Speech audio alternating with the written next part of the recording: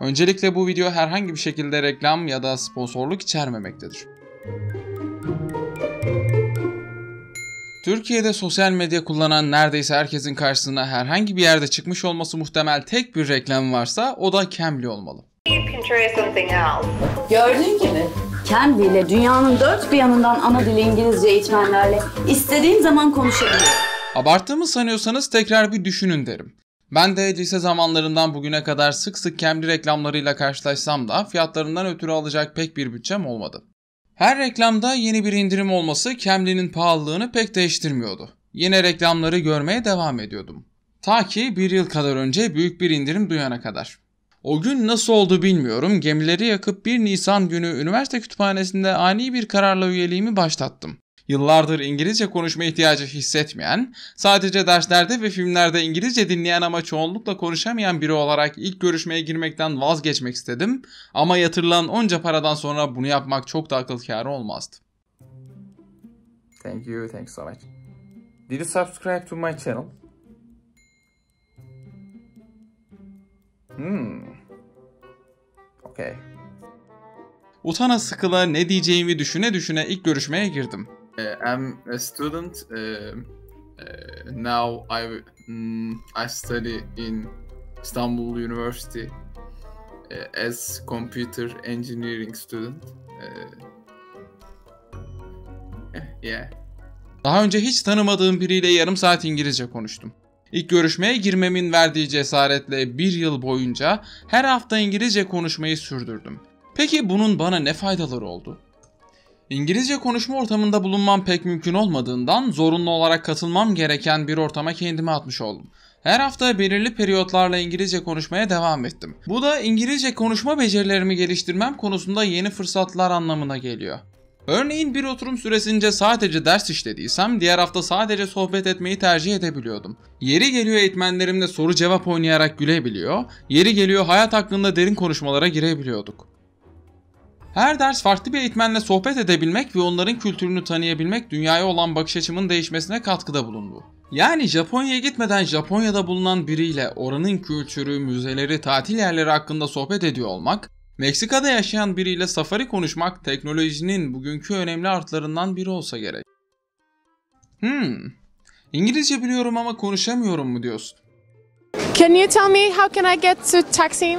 Taksim. Hello. How can I get to Taksim? Taksim. Nasıl giderim diyor dayı. Nasıl bilmem. Merak etme, yalnız değilsin. Gerek ortaokul ve lisede verilen eğitimin eksikliğinden, gerekse insanlar ne der gibi bir düşünceden kaynaklanan utangaçlık ve yetersizlik hissi nedeniyle pek çoğumuz böyleyiz ya da böyle olmaya itiliyoruz. Bunu yenmenin en önemli yolu adım atmaktan geçiyor. Bu sadece Cambly ya da başka çevrimçi platformlar olmak zorunda değil. Arkadaşlarınızla oluşturduğunuz konuşma grupları, kapınızın önündeki bir yabancıyla konuşabilmek, Eminönü meydanda röportaj yapmaya çalışmak ki ilerleyen zamanlarda bunu denemeyi düşünüyorum. İngilizce bir video hazırlamak ya da en iyisi yurt dışı seyahati yapmak olabilir. Son olarak Cambly'i alırsam nasıl bir hizmetle karşılaşırım diye düşünüyorsanız o konuda pek bir çekinceniz olmasın. Çünkü müşteri hizmetleri, eğitmenlerin tutumu, verilerin güvenliği konusunda pek çok platforma göre önemli bir yerde olduklarını söylemem gerek. Ayrıca eğitmenlerin öğrenciler tarafından puanlanması ve yorumlanması eğitmenin kendini geliştirmesini teşvik ettiğinden size göre iyi bir eğitmenle görüşmeniz ve memnun kalmanız olası oluyor. Eee, happy taraflarından bahsettiğimde hiç mi kötü yanı yok? Yani ilk başlarda da fark etmişsinizdir. Türkiye için ele alacak olursak Cambly'nin en büyük dezavantajı ücretlerinin döviz üzerinden hesaplanıyor olması. Bu da bursta geçinen bir öğrencinin kendini bu platformda geliştirmesini neredeyse imkansızlaştırıyor. Mesela ben. Bir yıllık ücreti birikim yaparak zoraki çıkarabilmiş olsam da tekrardan yenileyecek gücü kendimde bulamıyorum. Burada Cambly'nin ücretleri dolar üzerinden alması, kaliteli eğitmenleri platformda tutabilmesi ve kendini büyütebilmesi açısından makul görünüyor. Cambly'de bir yıllık süre geçirdim ve bu sürede aslında öğrendiğim ve olmasını isteyeceğim bazı özellikler vardı. Bazı eğitmenlerin samimiyetsizliği yeni başlayan birinin konuşma yönündeki hevesini kırabiliyor. Bir ara konuştuğum bir eğitmenin her ders sonunda benden 5 yıldız istemesi canımı biraz sıkmıştı. Zaten iyi ve samimi bir konuşma sürdürdüğümüzde o puanlamayı yapacağım ama böyle isteklerde bulunulması insanı gerçekten düşündürtüyor. Diğer yandan eğer Cambly bir öğrencinin İngilizce eğitimiyle paralel ilerlemeyi de başarabilirse çok daha efektif bir platform haline dönüşebilir. Yani hem kelime bilgime hem de gramer bilgime ayrıntılı şekilde bakılarak dersler alabilseydim şu anki seviyemin daha üzerine çıkabilirdim. Sözlerimi sonlandırırken Cambly'den bir ricam var. Üniversite ve lise öğrencileri için daha uygun indirimler yapmanız.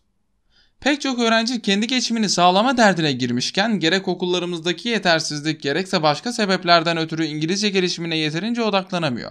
Cambly'deki bir yılım Nisan 2023 itibariyle bitmiş olsa da mülakatlar, iş hayatı, seyahat gibi İngilizce konuşmam gereken zamanlarda rahatlıkla, korkmadan iletişim kurabildiğimi görmek kendime yaptığım yatırımın önemini gösteriyor. Aramızda Cambly kullanmış olan ya da farklı bir yöntemle İngilizce konuşmayı öğrenmiş olanlarımız varsa yorumlarda bizi aydınlatabilir. Şartlar ne olursa olsun bir şekilde adım atıp konfor alanından çıkmanız temennisiyle hoşçakalın.